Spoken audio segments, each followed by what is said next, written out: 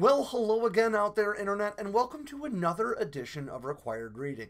My name is Alex Hollings. I'm a Marine veteran, a journalist, and the editor of Sandboxx News, and today I'm going to take you through five of our biggest stories of the past week.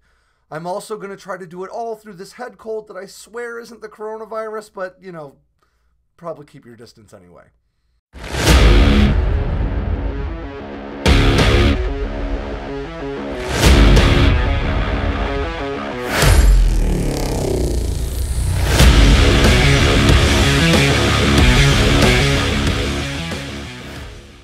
Top story this week may raise a few red flags for the Elon Musks out there, because it's all about artificial intelligence and its potential combat application. Now, DARPA has been having eight different artificial intelligence firms square off against one another in virtual dogfights to see who can create the best artificial intelligence fighter pilot.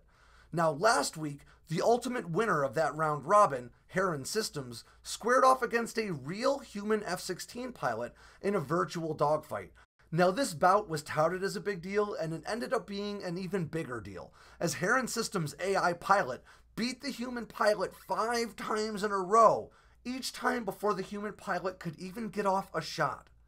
Of course, that doesn't mean that the days of human fighter pilots are numbered. It really means that this AI operated better in a simulated environment than a human pilot wearing a VR headset with minimal control could do. But there are far reaching implications for this contest. As this technology matures, we won't just see this tech find its way into drones that can operate like fighters. We'll also find it working its way into the cockpit of manned aircraft. You see, once artificial intelligence can handle a lot of the more mundane tasks, it can take care of that while the human operators focus on the fight, the combatants, their allies, and whatever their mission objectives may be. This could really revolutionize military aviation, and it's not too far out. It'll likely be years before we see this technology really come to fruition, but when it does, it'll be a game changer. And while we're on the topic of drones, let's dive into our next top story from this week called the RQ 170, the Air Force's secret beast of Kandahar. Now, this story is all about one of America's most classified drone platforms, the RQ 170, and how we still don't know all that much about it.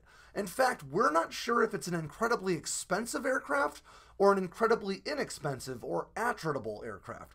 But what we do know is that the Air Force has been using it in combat operations, potentially dating back to 2007. It wasn't actually until 2009 that the Air Force even admitted that this thing existed. I highly recommend that you give this article a read. It reminds me of when I was a kid and we heard rumors of this stealth fighter, but the Air Force didn't acknowledge that the F 117 existed for a few more years. I love that we're still doing this. I love that we've got classified platforms out there. And to be honest, I'm pretty into this RQ 170 thing. Now let's head back down from the sky to what I think is our most important story of the week, and it's called Women in the Military Paving the Way and Shooting for the Stars, literally. And it comes to us from Sandboxx News contributor Amy Dickey. In this piece, Amy goes through the stories of four incredible female service members who have paved the way for the next generation of women in uniform. She talks about women like Major Katie Higgins Cook, who was the first female pilot to join the Navy's acrobatic Blue Angels team.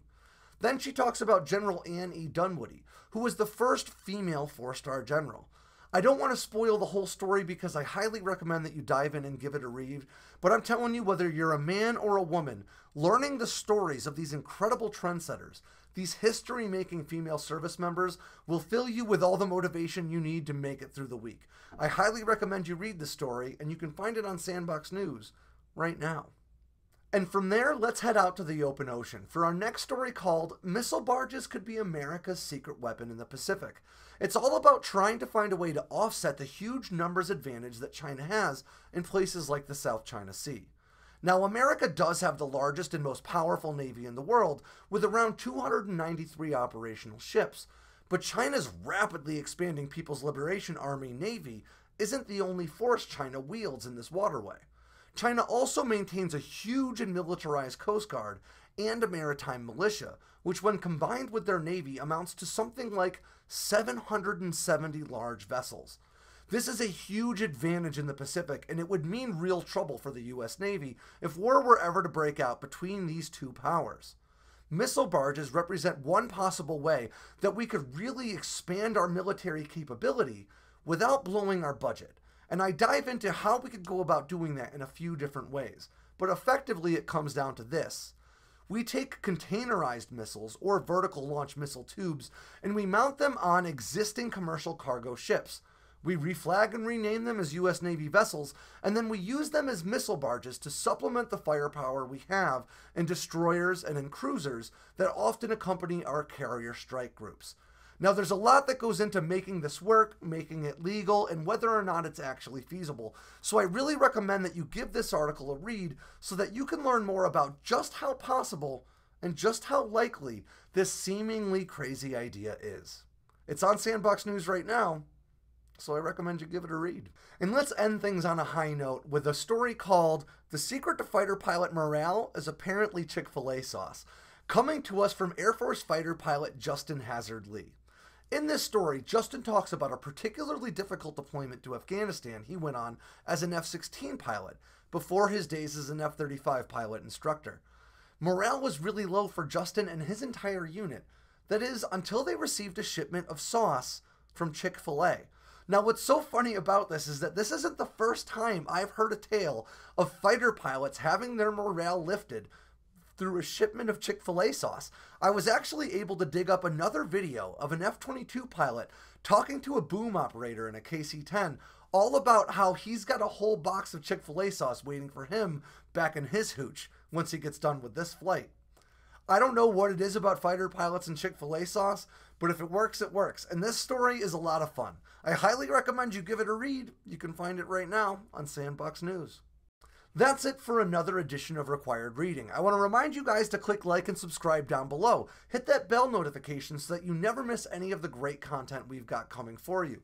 We've already launched a few awesome episodes from fighter pilot Justin Lee. We've got some great content coming from military spouses and Army Rangers headed your way very soon. And of course, don't forget to check out our store. You can get a cool sandboxx hat like this, great military gear, and all sorts of other stuff on sandboxx.us.